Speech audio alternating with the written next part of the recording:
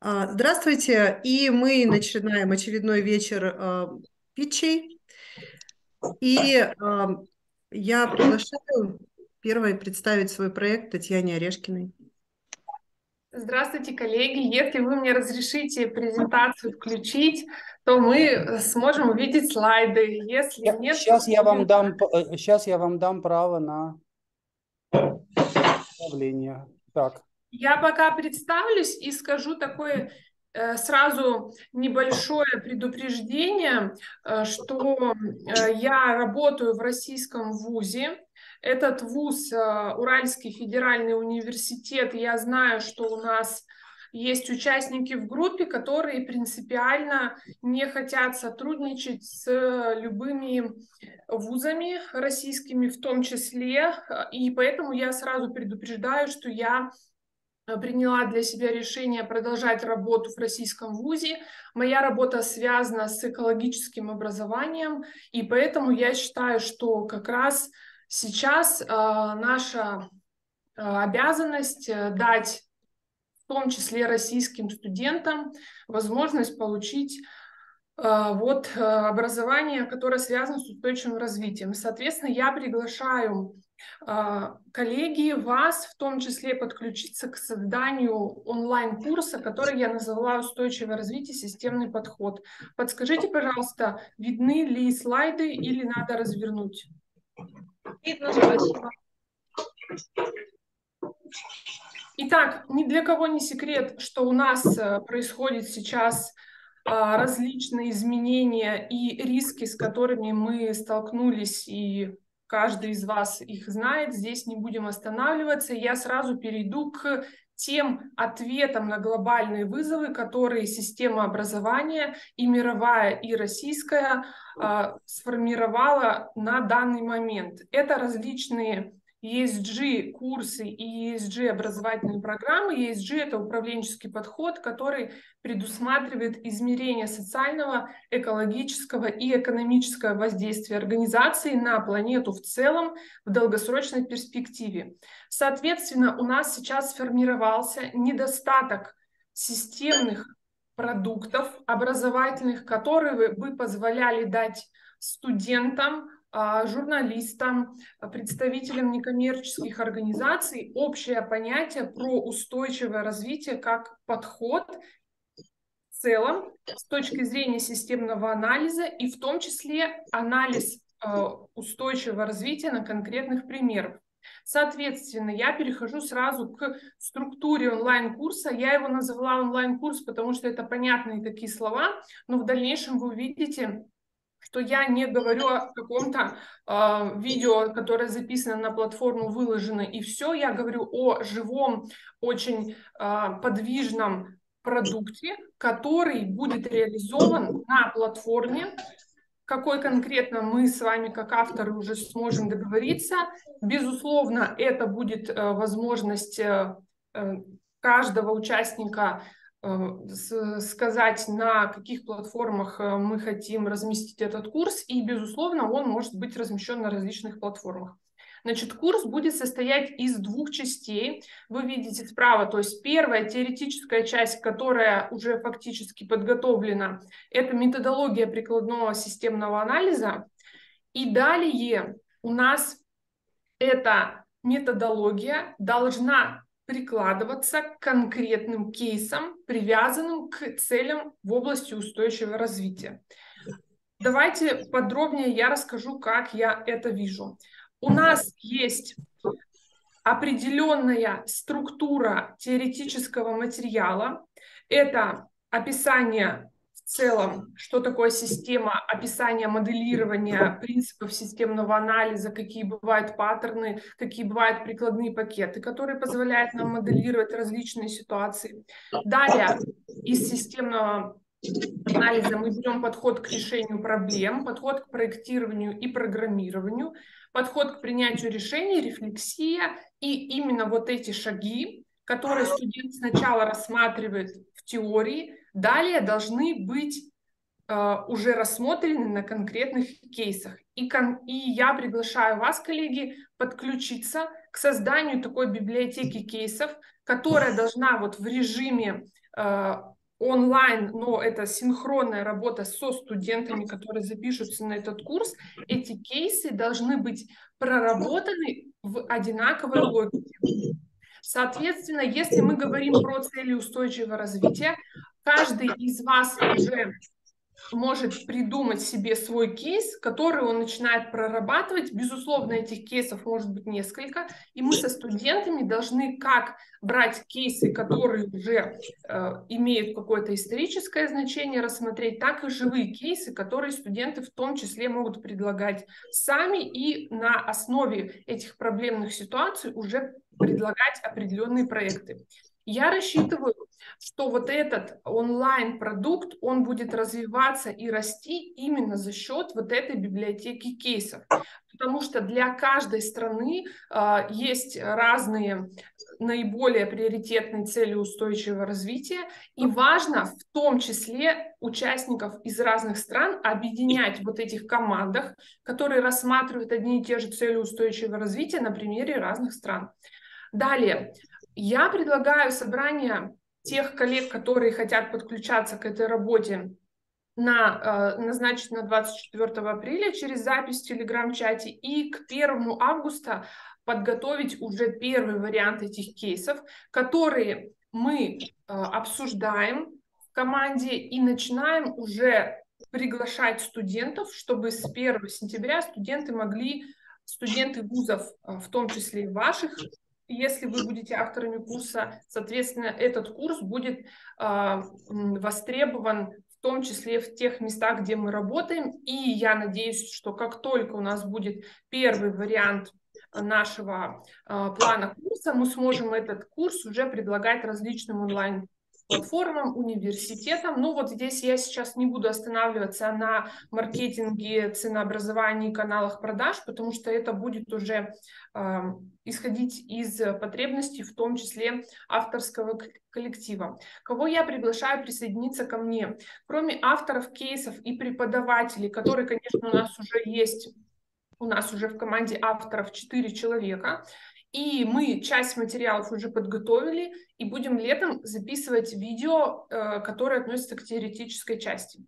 Кроме непосредственно авторов и исследователей темы устойчивого развития экологических проблем и социальных проблем, и все, что связано с устойчивым развитием, нам требуются специалисты, которые будут помогать оформлять презентации, помогать с монтажом, помогать э, демонстрировать и показывать различные скринкасты для пакетов прикладного анализа данных, для пакетов, которые позволяют э, системный анализ сделать ситуации. Он очень э, широкий, вот этот э, здесь... Э, много вариантов этих программ. Здесь, соответственно, может быть э, ваша роль очень э, востребована именно как технического специалиста. Ну и кроме того, конечно же, я надеюсь, что мы сможем найти людей, которые переведут видео сделают английские субтитры, английские тексты. И если у нас есть э, э, люди, которые готовы на другие языки это переводить, соответственно, это тоже можно сделать. Соответственно, мои контакты есть в чате,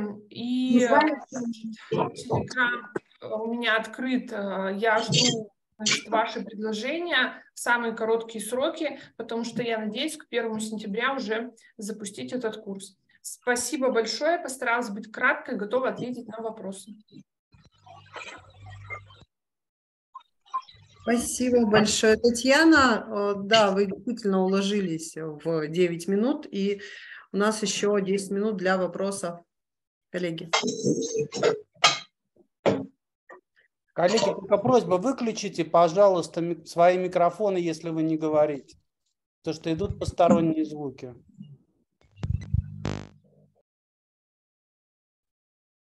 Угу. А, Татьяна, у меня такой вопрос. Вы говорите про команду. Это команда Уральского университета? Ну, на самом деле не только, потому что у нас есть сейчас специалисты, один специалист из Томского государственного университета и один специалист, который сейчас нигде не работает и а, проживает, ну, тоже в разных местах. То есть такой свободный исследователь. И, соответственно, два человека из Уральского федерального университета.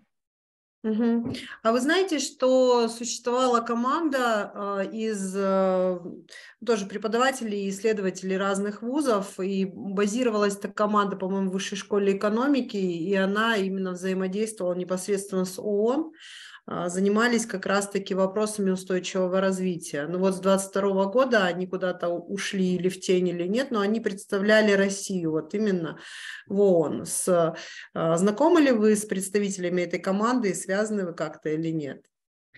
Нет, я не знакома конкретно с преподавателями, которые занимались этой темой, но могу сказать, что эта тема на повестке дня, и, конечно, Высшая школа экономики многими вопросами занималась.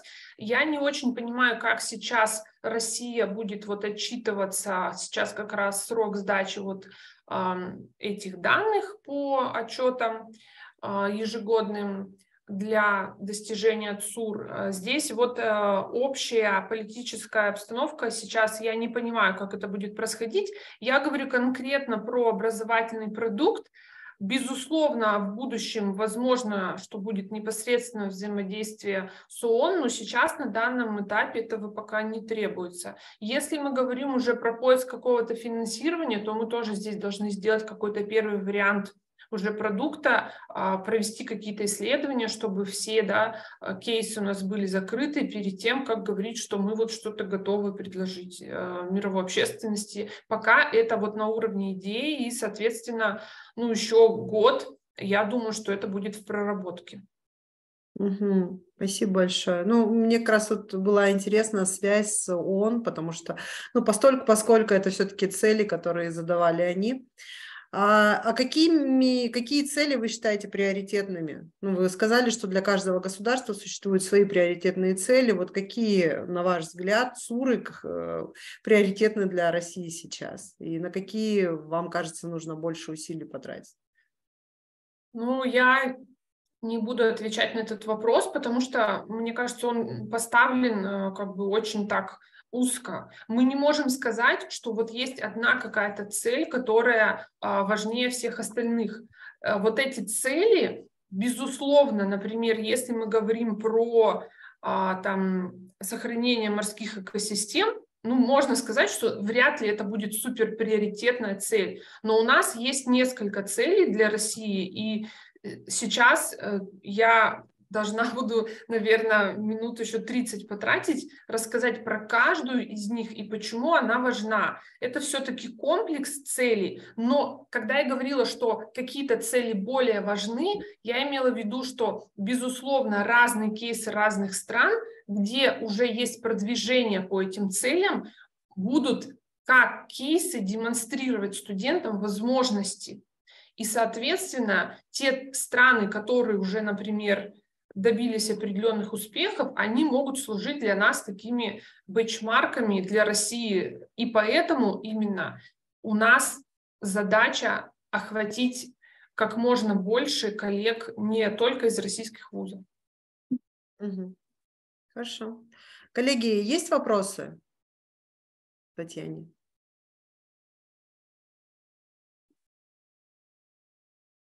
Ну, по всей видимости, нет. Но, а, Татьяна, вы просили ссылку э, прикрепить к... Ну, то есть это на самом деле достаточно сложный процесс. Это нужно было переслать ее Александру. Александр прикрепил бы ее туда. Я думаю, что намного проще, если вы сейчас размещите, разместите ссылку в чате. И да, конечно. Да, хорошо, спасибо большое. Угу. Спасибо вам. И э, далее мы послушаем о проекте Сергея. Сергей, вы представитесь сами?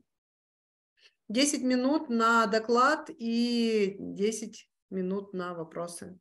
Татьяна должна вернуть э, управление или мне, или передать Сергею. Татьяна. Да, коллеги, одну секунду. Делайте, пожалуйста. А, да, я... я отдала права. Вы можете демонстрацию включать. Вы мне передали? Э, добрый день, коллеги. Заранее извиняюсь, что не удалось мне решить проблему с э, камерой и видео не включается. То есть с компьютером недавно мини-катастрофа произошла, и сожалению, вот такая ситуация возникла. Ага. Павел, ой, извините, э, Сергей, начинайте. А, ну, наверное, а, вы прочитали аннотацию, так что, чтобы мне не повторяться, я попробую осветить те, те стороны проекта, которые э, не были там описаны. Ну, начну с того, что идея самого этого проекта, который ну, на русский язык можно перевести как э, э, перешедшие в буддизм и их сообщество в постсоветских странах, Э, он, сама идея этого проекта, она возникла еще до февраля 2022 года, э, но в связи да, э, с известными событиями проект ну, претерпел небольшие изменения. То есть у нас возникли некоторые сложности, там, допустим, с постановкой вопросов, составлением анкет для тех людей, Э, которые находятся в России, чтобы э, ну, на фоне ужесточения законодательства да, их лишний раз там, не подвергать риску и так далее.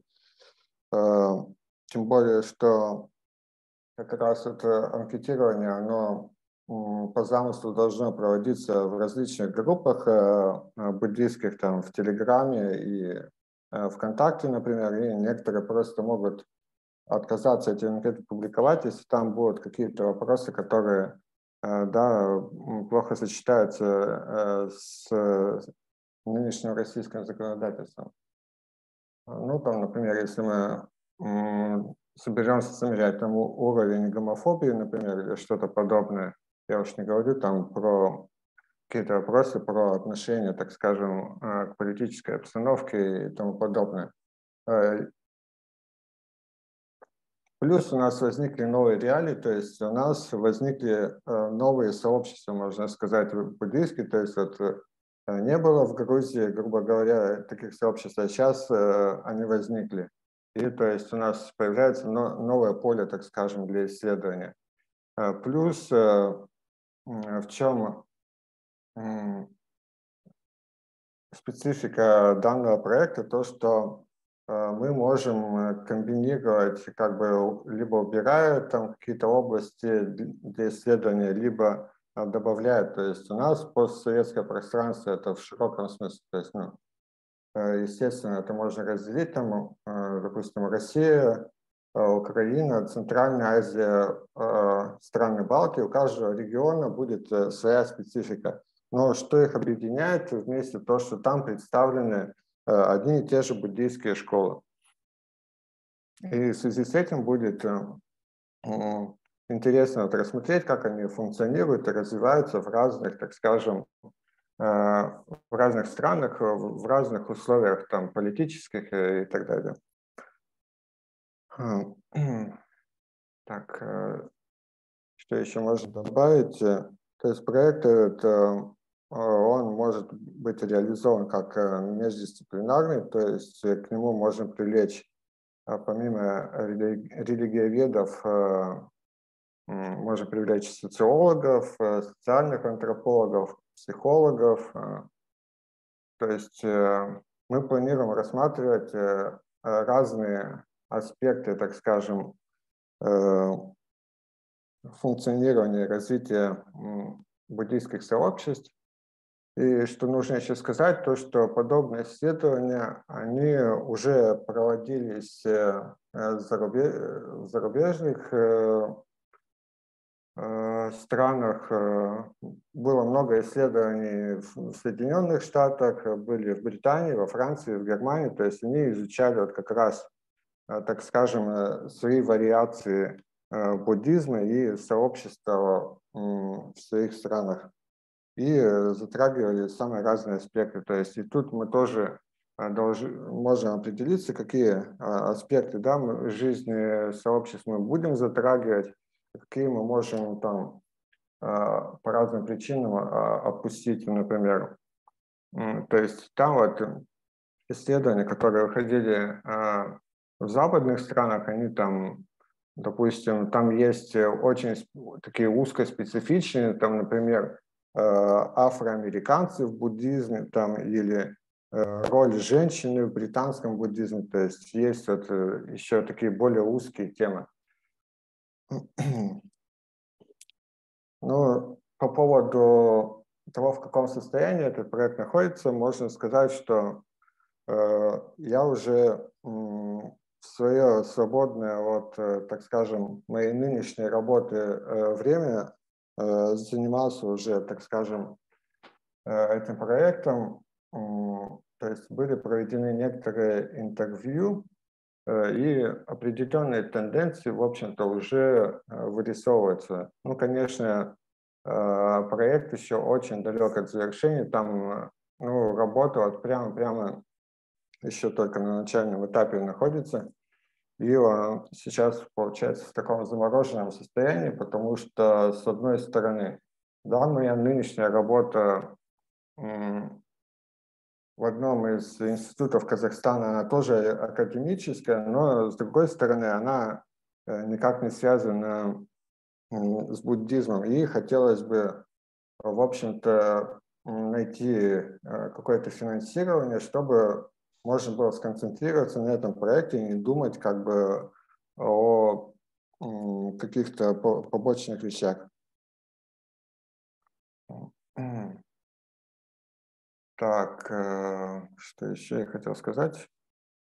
А, ну, возможно, уже будут какие-то вопросы, и если я что-то не договорил, а, возможно, это раскроется в ходе ответов. Спасибо. Спасибо, Сергей. Вы как раз уложились 10 минут.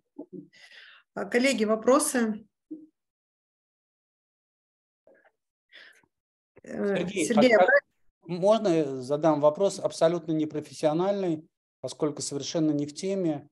А скажите, пожалуйста, вас в какое число оценивается количество тех, кто перешел в буддизм, ну, скажем, в России, какие есть данные по Европе или по, по, по постсоветскому пространству? Просто насколько большая эта группа людей? Ну вот по России и по советскому пространству у нас имеются э, сложности объективные, потому что переписи населения никак не фиксируют религиозную ситуацию. И даже точно неизвестно, сколько, вот, например, в России буддистов проживает на данный момент, э, как и в других соседних странах. Э, ну и то есть там оценки идут такие приблизительные, то есть это, ну, грубо говоря, если человек там Э, называет себя калмыком или бурятом, то он может э, теоретически там, да, а, относиться к буддистам, но может и нет, потому что ситуации бывают разные, и в связи с этим, да, у нас имеется такая проблема, то есть мы не можем назвать, сколько у нас буддистов даже в исконно-буддистских регионах, то есть примерную цифру там можно только назвать, а вот тех, кто перешел э, в буддизм, их вообще сложно зафиксировать, потому что, ну, да, как бы на данных э, переписи мы никак не можем ориентироваться, потому что, ну, да, не совпадает как бы вот э, национальной составляющей религиозной. То есть если там по калмыкам, бурятам мы можем как-то предположить там примерно, то вот мы, наше исследование это сконцентрировано на тех, кто не относится как раз к этим этническим группам, и поэтому дополнительные сложности возникают. Спасибо. Спасибо. А, а вы... Сергей, можно еще не ага. вопрос, а комментарий? Меня да, слышно? Да, да, да, да, да. А, вот э, я еще в чате, когда, ну, вот про вечер питчей, там информация выкладывалась в чате именно о координационном таком. Я там писал в комменте, что это достаточно интересная тема, если можно будет с вами связаться, потому что я как раз а, имею такое непосредственное отношение к одной из таких, ну, не я сам, а я лично знаю таких ребят, которые как бы представляют такую буддийскую не этническую а, группу, вот, и может быть, как раз, ну, можно было наладить какое-то вам, в общем, выборку вам можно было бы а, организовать небольшую. Вот, так что, да, если конечно, можно, давайте буду... свяжемся. Да-да-да, mm-hmm. конечно, я вам напишу тогда сам, я видел ваш комментарий. Все, и... супер, тогда в личку пишите, спасибо. Да, да, Сергей, а можете в чате свой email или какой-то контакт оставить, чтобы как-то общение с вами было возможно и для тех, кто далее посмотрит, например, Так, это... э, в чате, в Телеграме, да? Ну, прям- прямо здесь можете. А, хорошо, сейчас. э, А я, кстати, не извиняюсь. уверен, что чат виден, когда запись публикуется. Мне кажется, чат же не виден. Хорошо, будет. хорошо, оставьте здесь и в Телеграме. Ну, по крайней мере, Да. оставьте информацию, чтобы можно было связаться. Так, я Да, попробую спасибо. сейчас э, в чате написать, э, если будет видно. Мгм. Да, здесь в чате будет видно, а тогда, м, если вы не состоите в чате организаторов, ученых без границ, тогда мы сейчас перекинем ваш контакт туда. М, Я состою там, в- а, в чате, м, в общем Организатор. чате, я, по-моему, есть. А, нет, Мгм. там нет. Ну, В общем чате, да, в общем чате его все видят. Да, я вот э, сейчас скинул свой адрес. Да, да, да, как да, мы бы. видим. Спасибо. Да, хорошо. Спасибо. Есть еще вопросы к Сергею? Вот Александр здесь. Да, это не вопрос, это комментарий. Я просто хочу сказать, что у меня тоже есть, э, значит, э, знакомые россияне, которые являются буддистами, опять же, не этническими, а они в Германии, в Берлине. Вот этих вот э, разбросанных по миру российских или русских, или российских буддистов вы как-то планируете уч- учитывать или смотреть на них? Просто интересно. Да, изначально планировалось, ну, все-таки, да, учитывать вот эту э, позднюю, так скажем, недавнюю эмиграцию. А Если люди эмигрировали давно, например, еще до э, распада СССР, то это вряд ли. А если позже, то вполне можно, то есть, да, лишним не будет. Спасибо. Ну, Спасибо большое. А, есть еще вопросы? Нет?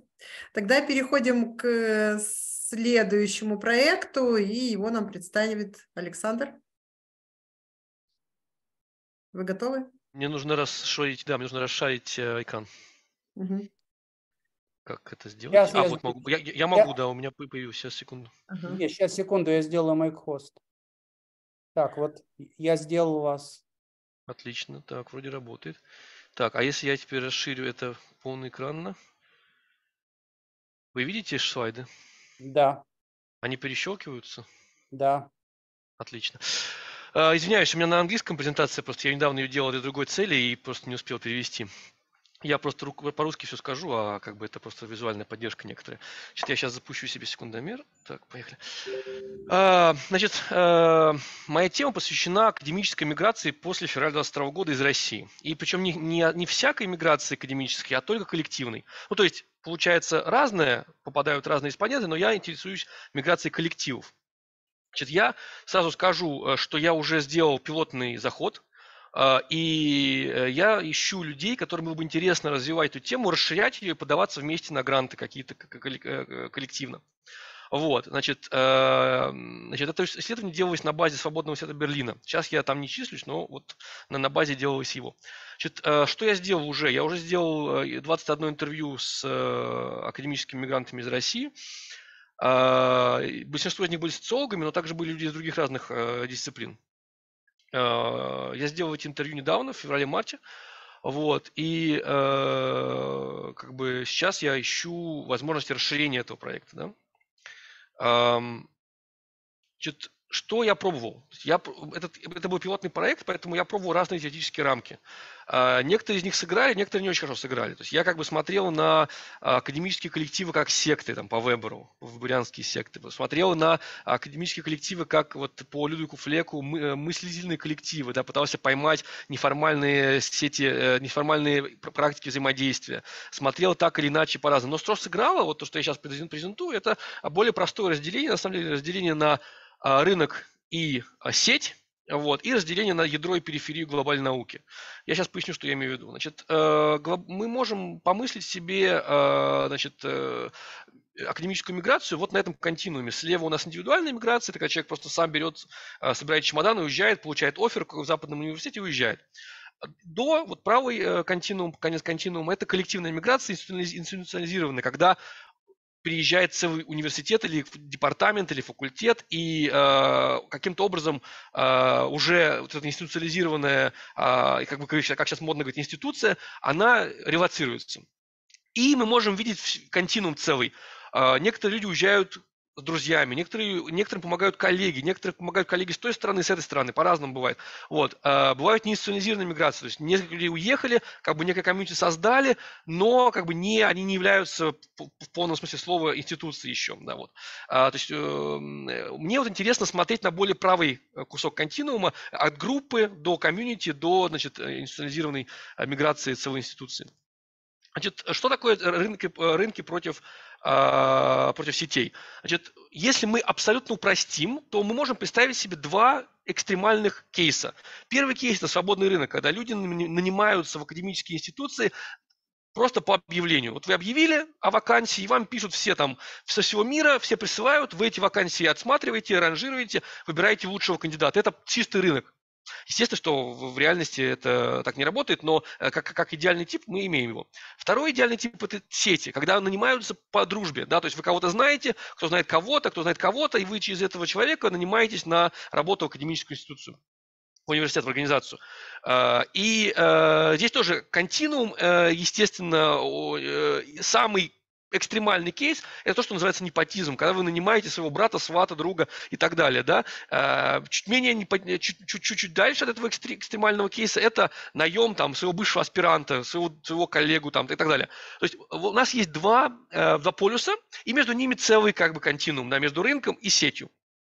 Э, если мы говорим о академических коллективах, то академические коллективы могут быть э, набраны вот на этих разных принципах.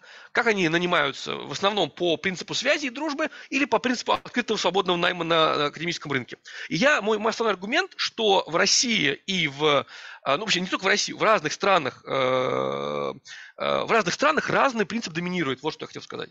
Э, если мы говорим про Западную Академию, мы условно можем сказать, что там доминирует рынок. Если мы говорим про Академию постсоветскую, скорее всего, там доминирует больше связи. Это, опять же, это очень широкое обобщение, но просто для того, чтобы мы где-то разместили идеальные типы. Да?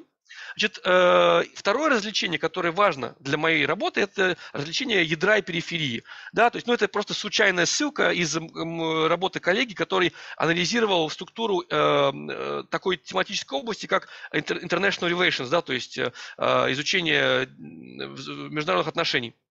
Они нарисовали карту, по которой, ну, неважно, какая именно сейчас эта карта, но главное, что там выделяется ядра и периферия. То есть вот есть ядро, это Западная, Западная Европа, Америка, журналы. Тут они анализировали, как, журна, как журналы друг друга цитируют. Но это все не принципиально. Главное, что есть ядро и периферия. Есть журналы, условно, из Латинской Америки, которые все смотрят на, на, Евро, на Европу, но на них никто не смотрит. Европейцы цитируют друг друга, цитируют американцев, друг друга, э, то есть не, не, не цитируют люди из, из, из Латинской Америки, не цитируют людей из Восточной Европы, не цитируют людей из Центральной Азии, а те, наоборот, цитируют это ядро.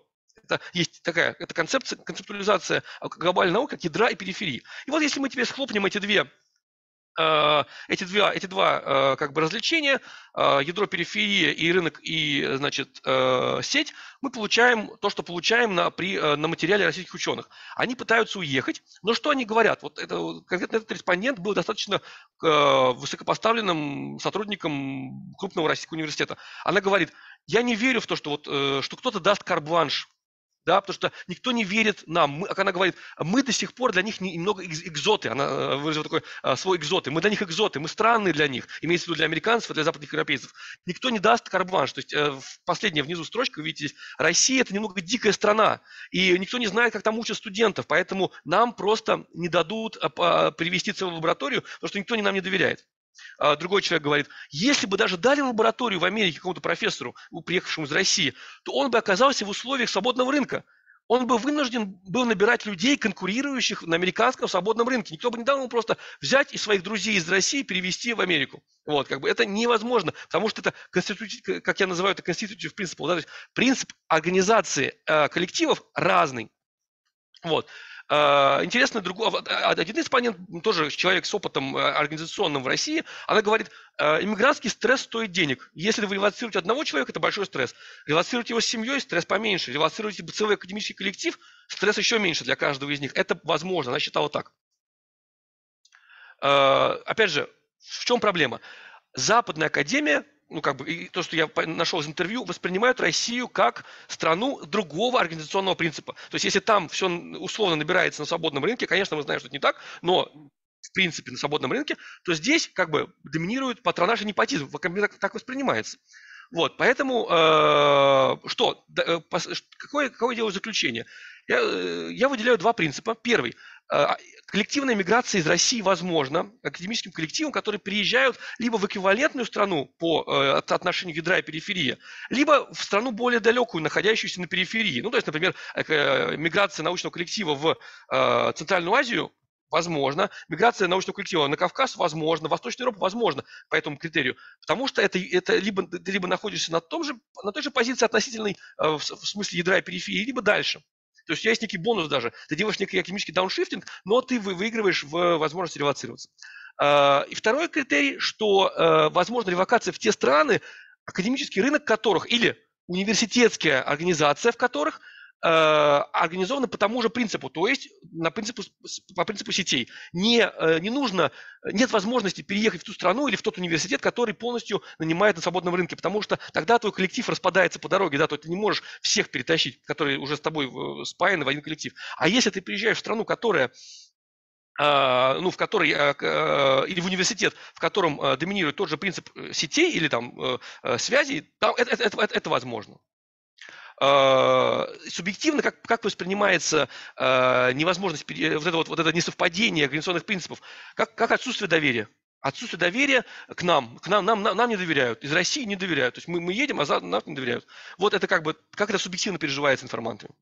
Э, и, собственно, я и видел это в своем исследовании. Есть пример переезда попыток переезда на Балканы, я не буду говорить куда конкретно, там это не имеет значения, э, но принципиально на Балкан и на Кавказ. Это вот это совпадает с моими двумя критериями, то есть это, это реально ну, как подтверждается эмпирически. Кого я ищу? Э, что, что для, я ищу людей, которые бы хотели бы вместе исследовать российскую академическую миграцию, подаваться на коллективные гранты. Вот последний жирным выделено, да. То есть мне бы хотелось писать, развивать это дальше, получать какое-то финансирование и, и ну, звать тех, кому это интересно. А, в первую очередь я ориентируюсь, на социологов, на людей, которые занимаются миграционными исследованиями, э, социологией академии, организационной социологией, а, и тех людей, которым бы интересно другие теоретические рамки попробовать. Также те, кто занимаются исследованием высшее образование тоже welcome. И вообще все, кому интересно, welcome. Это я просто так написал основные э, направления. Все, вот мой контакт. Э, пишите мне в Телеграме. Буду очень-очень рад общению. Спасибо. А, спасибо большое, Александр. Вот свой контакт продублируйте, пожалуйста, в общий чат, чтобы Хорошо. А, видели. Вопросы, коллеги? Очень интересная тема, конечно, и мы все в той или иной степени живем в ней. А, по крайней мере, многие участники нашего коллектива. А, Александр, а скажите, вы уже знаете примеры коллективной миграции, то есть э, когда, ну хотя бы там на уровне лаборатории, понятно, что институции целиком не переехали, да, институты, но лаборатории или какие-то исследовательские группы. Ну... В моем исследовании было, да, я не буду говорить, куда переехали, но там получилось так, что шесть человек э, собрались в одном месте, да, то есть шесть человек из старой лаборатории собрались в одном месте э, в новой лаборатории в западной стране, вот, но они переехали по, э, каждый по отдельности их перетащил как бы коллега, который там был, э, который имел связи с Россией, там местный коллега, который имел связи с Россией, он их по, по одному перетянул. То есть как бы, вот, как бы групповых э, нет, то есть почему вообще все это исследование делаю? Да, идея была в том, чтобы написать к тому же какую-то рекомендацию, может быть, западным каким-то там полисимейкерам, а то, чтобы какие-то возможности создать коллективной миграции, сейчас таких нет. Сейчас же каждый ищет сам для себя что-то, да, вот, э, как бы, поэтому по одному так, чтобы собрались в одном месте, есть примеры, да. А вот коллективно нет, не нашел, не, не знаю. Вот. А, я знаю коллегу, хорошо знаю коллегу, который смог э, перетащить в Израиль довольно большую Я группу. тоже знаю этого коллегу. Да? Тогда мы, видимо, знаем одного и того же коллега.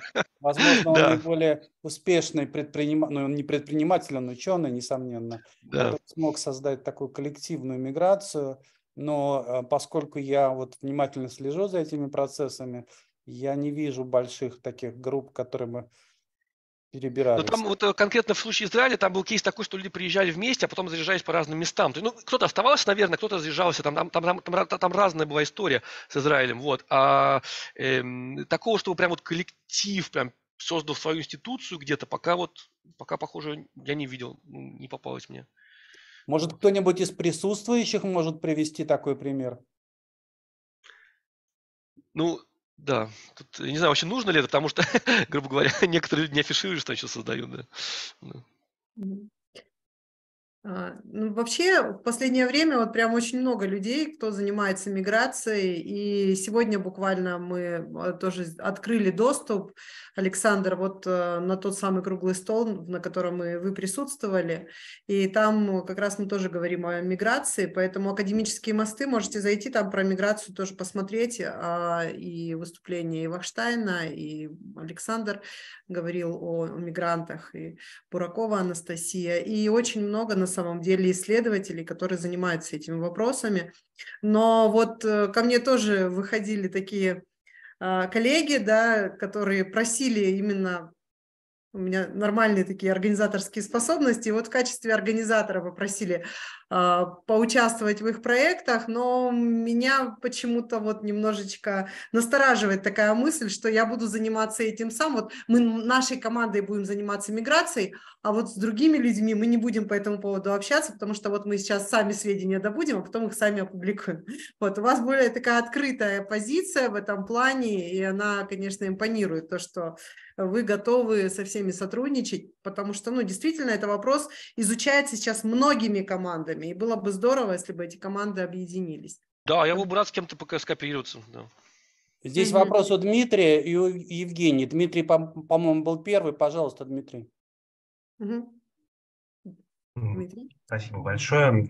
Александр, ну, во-первых, на меня можете всецело рассчитывать, если будете подавать заявки а, у меня прагматически два коротких вопроса. А, первое, э, думали ли вы уже о том, куда именно подавать заявки, какие фонды, может быть, каким университетам предложить это, эту инициативу?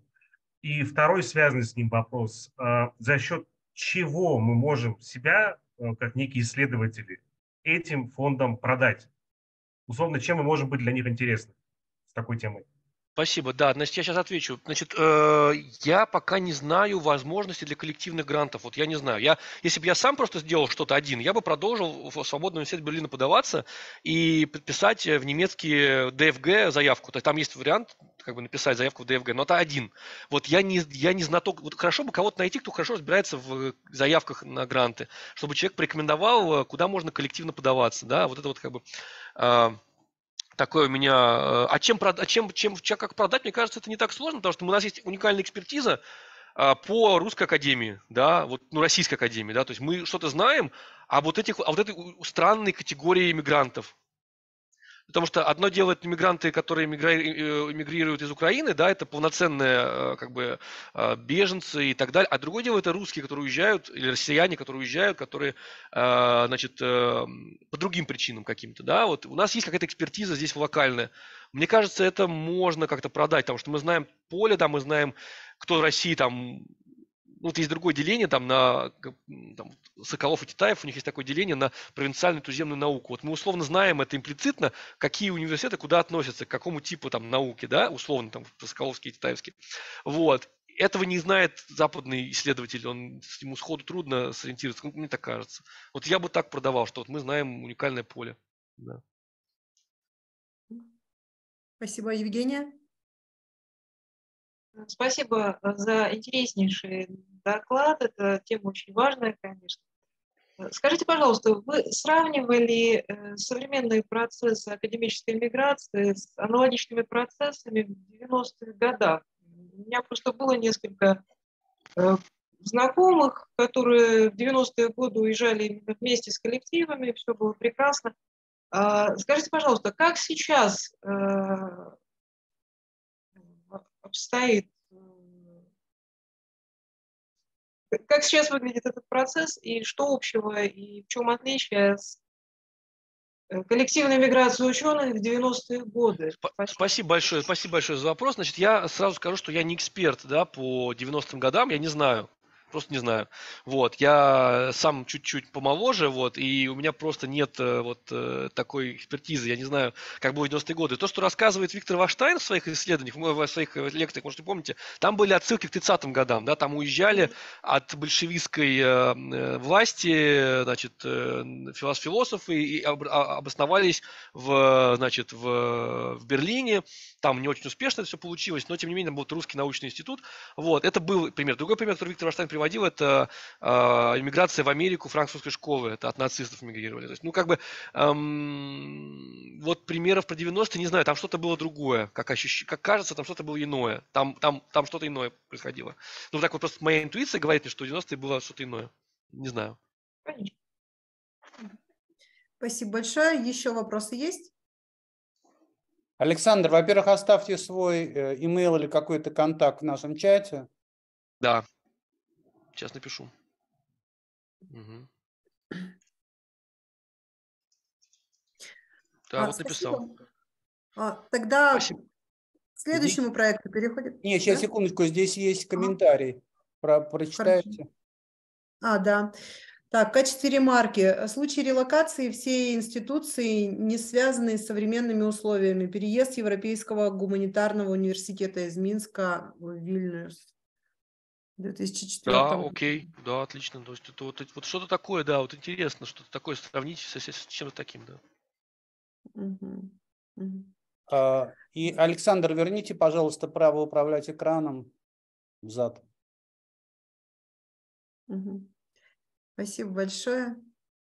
Все, Павел? Павел? Да, да, добрый день. Представьтесь, представьтесь немножко и свой доклад представьте. 10 минут на доклад и 10 минут на обсуждение. Да, конечно. Я могу вывести да, на экран? Да, сейчас, секунду, секунду. Сейчас я сделаю вас... Так, прав, право передано вам. Да, пожалуйста. Меня зовут Беленко Павел. Я здесь вместе с моими коллегами, с Юлией Артемовой и с Денисом, а, Юлией Артамоновой, извините, Денисом, Денисом Артемовым. Я думаю, что они в ответах на вопросы либо в комментариях подключиться также, либо сейчас в основной части, и мы можем выступить вместе. А вот, э, собственно, наши э, профили в LinkedIn – Э, я э, прошел определенный путь в бизнесе от э, инженера до генерального директора завода, предприятия в 2014-2016 годах, руководил созданием предприятия в городе Челябинск.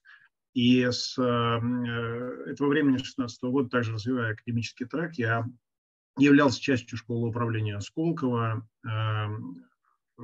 Помимо публикаций, исследований, которые мы проводим вместе с Э, Юлией и Денисом. Э, я также работал в качестве академического лидера программ в США, в Кремниевой долине, э, в Израиле вместе с университетом ТАУ делали программы для Executive MBA, которая учится в школе управления Сколково.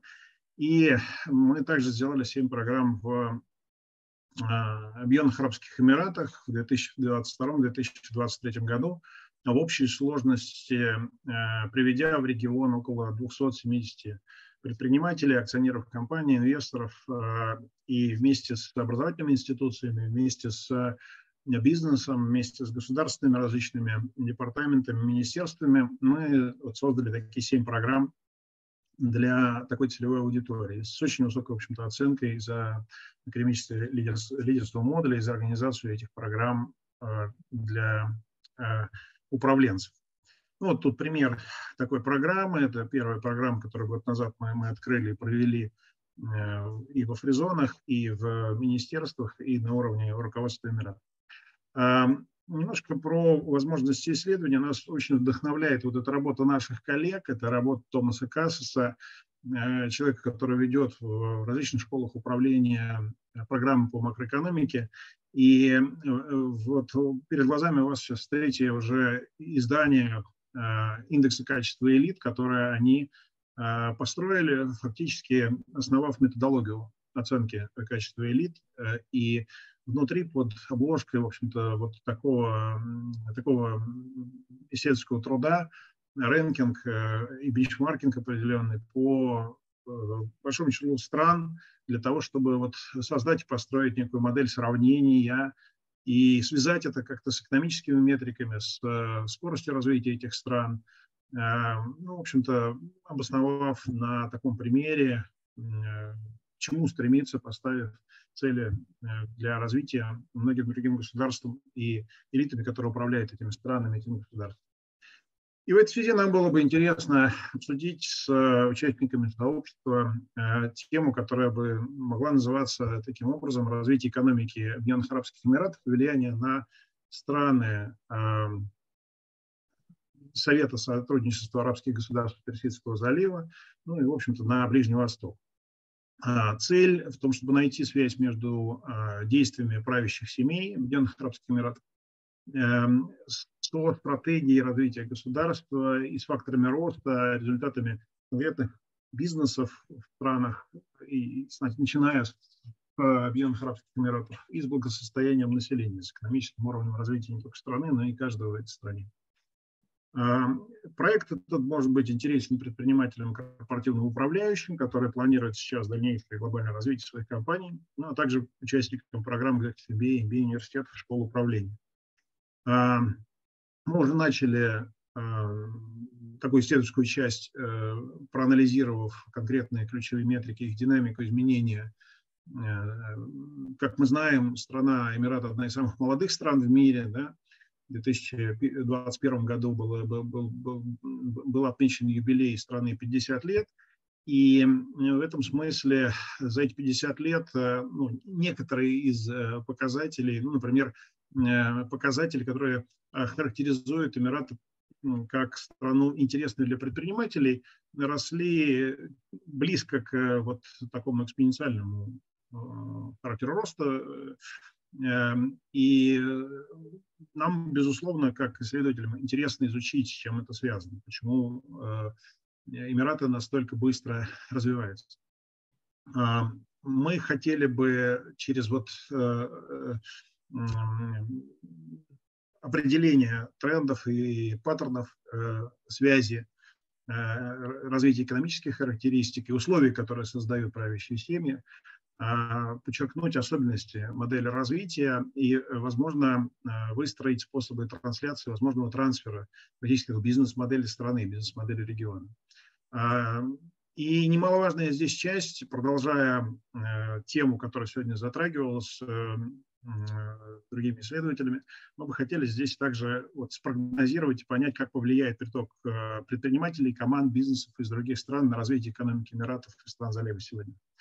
А, вот эти семь гипотез являются базовыми для их проверки, начиная с, а, наверное, одного из самых важных, ключевых э, критериев для развития компании сегодня – безопасности капитала и предпринимателей через активное привлечение иностранных инвестиций, рост венчурной индустрии внутри страны, через а, анализ, внимательный опыт э, того, что происходит в долинах по всему миру, и выстраивание акселерационных э, структур и э, доверие к частным венчурным инвестициям внутри страны. А, еще одна гипотеза – это создание условий для талантов и предпринимателей из множества стран. Безусловно, здесь же диверсификация роста суверенных фондов, а, инвестиции в глобальные рынки в том числе этих э, суверенных фондов и быстро развивающихся отраслей этих рынков.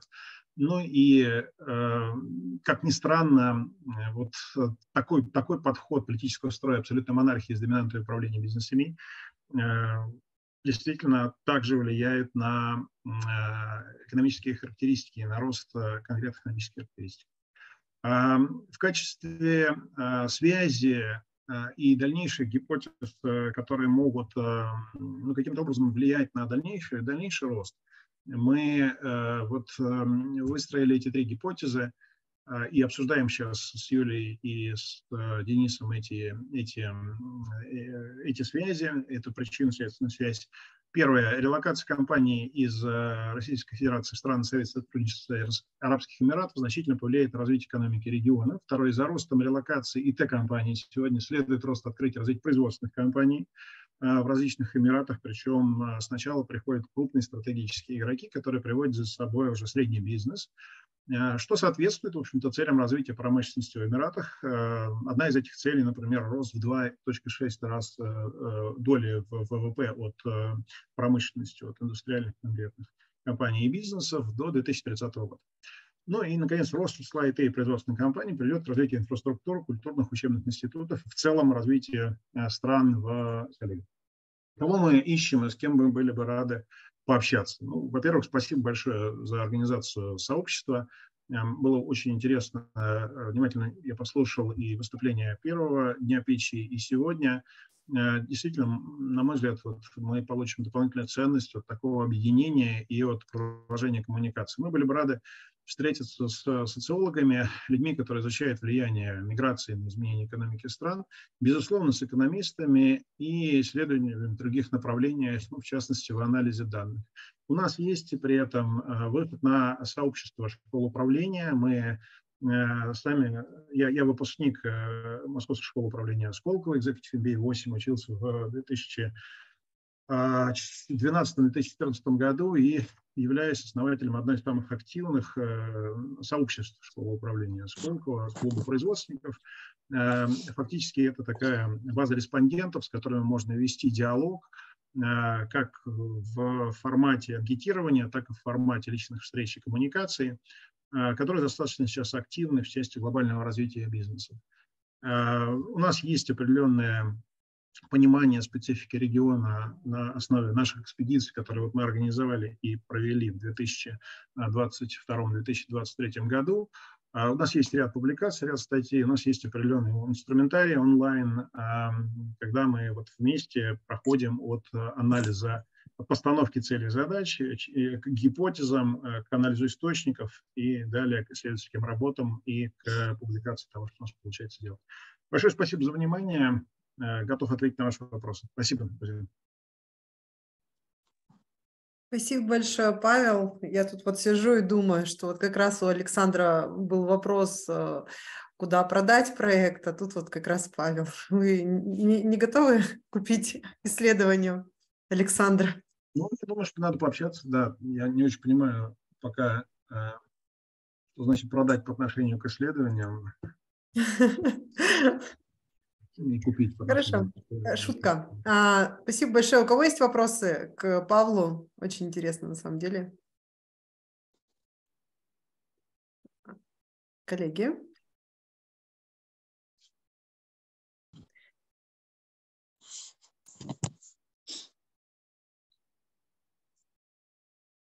Кажется, Октябрина хочет что-то спросить, нет? Нет, нет. Просто вы у нас высветились на экранах. А, нет, нет. Если бы получилось у моих коллег подключиться, тоже у Дениса и у Юлии пару слов что сказать, пожалуйста. Ну, Или задать Анна. вопрос. Анна пытается что-то сказать. Нет?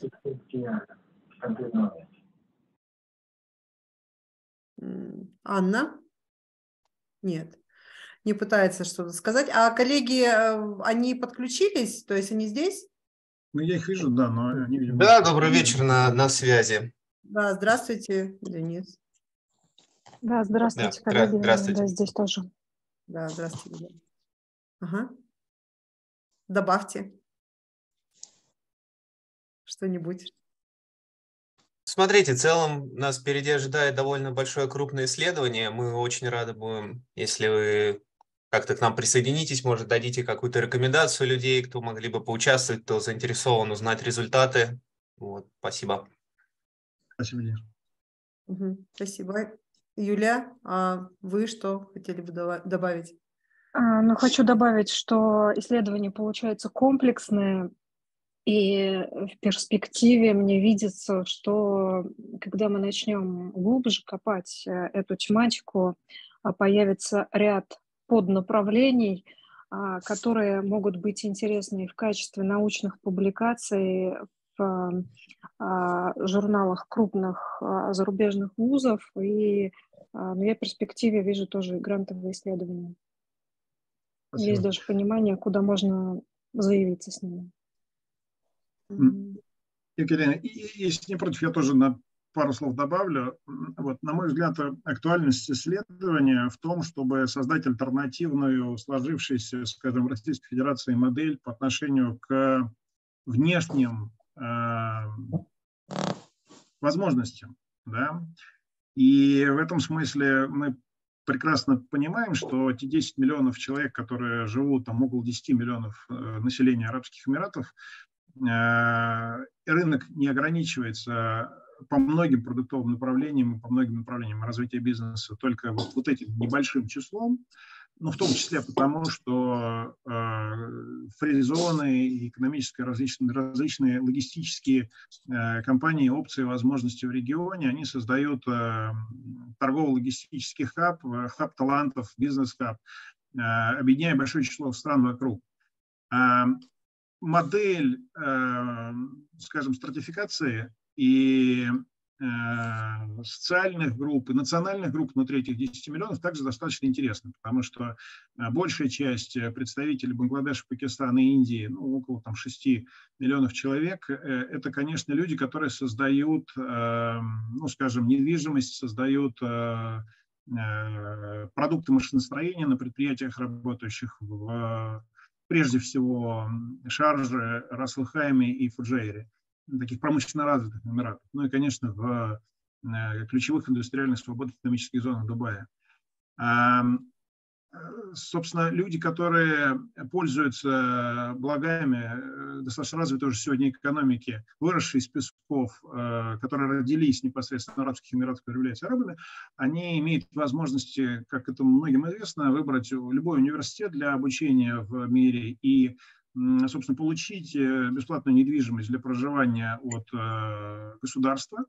Ну а корпоративное управление выстраивает, конечно, англосаксы, британцы, американцы, европейцы в компаниях, которые сегодня активно развиваются в Эмиратах. И в этом смысле вот такая синергия, совместная работа, взаимоэффективная э, этих 10 миллионов человек свидетельствует о позитивной экономической экспансии без каких бы то ни было девиации в виде военных конфликтов и э, ссор с окружающими странами. И, на мой взгляд, вот модель, которую мы предлагаем здесь изучить, э, она была бы неплохим таким бенчмарком и э, образом для мирного существования да, и, и развития, не боюсь этого сейчас слова, научно-технического прогресса в этом мирном существовании страны, которая задает уровень для стран, собравшихся вокруг, ну, безусловно, э, антитеза здесь может быть СНГ, да, и э, выделение факторов э, динамики экономического развития этих стран. Вот, на мой взгляд, это очень интересно и актуально сейчас. Спасибо. Спасибо. Павел, ну, Павел спасибо да. за ваше выступление. На самом деле, то, что вы говорите, очень правильно, актуально, интересно. Во-первых, опять же, просьба оставить свои координаты в чате. Потому что ведь дальше мы выложим это видео, и я уверен, что еще несколько десятков, а может быть больше человек из нашего сообщества посмотрят видео и, возможно, захотят связаться, потому что, на мой взгляд, тема очень актуальная и интересная. Да. А, этот регион притягивает внимание очень многих. Я думаю, что очень многие даже хотели бы туда попасть. Поэтому в качестве первого шага участие в этом проекте. Но в этом смысле мы готовы делиться опытом и рассказывать, что собой представляет регион. Э, я жил в семи странах, жил и работал в прошлом году и в этом году, но из всех этих семи стран наибольшее впечатление именно связи условий и факторов развития на меня произвели Объединенные Арабские Эмираты. Ну, в смысле, я готов поподробнее, если это будет интересно кому-то рассказать об этой связи. Спасибо. Вы, кстати, должны выступить в нашем проекте про, про различные страны. Я не помню, что вы записали. Да, пожалуйста. Вы не записались, по-моему. Давайте как-нибудь да, расскажете хорошо. подробнее о своем опыте в этих странах.